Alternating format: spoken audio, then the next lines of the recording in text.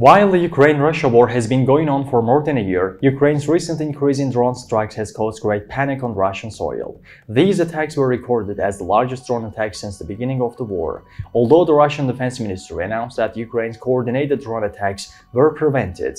Images shared on social media showed that the attacks caused explosions and fires in some regions. One of the regions in Russia where the most intense attacks took place was Pskov, close to the Estonian border.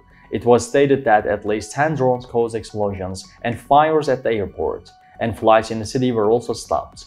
These attacks were announced by the governor of Pskov, Mikhail Vedernikov, who said that efforts were underway to determine the extent of the damage. Russian officials stated that Ukrainian drones targeted infrastructure in other regions as well, especially in Moscow, Bryansk, Oryol, Kaluga, and Ryazan regions. The airspace was closed as a precautionary measure.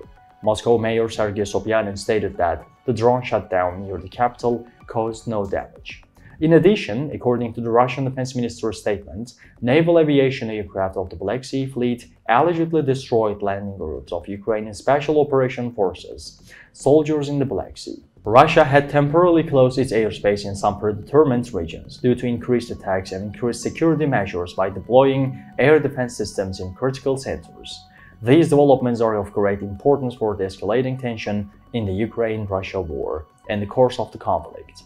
What do you think about these developments? How might the escalating tensions between Ukraine and Russia and increased drone strikes affect the course of the conflict? We look forward to your views.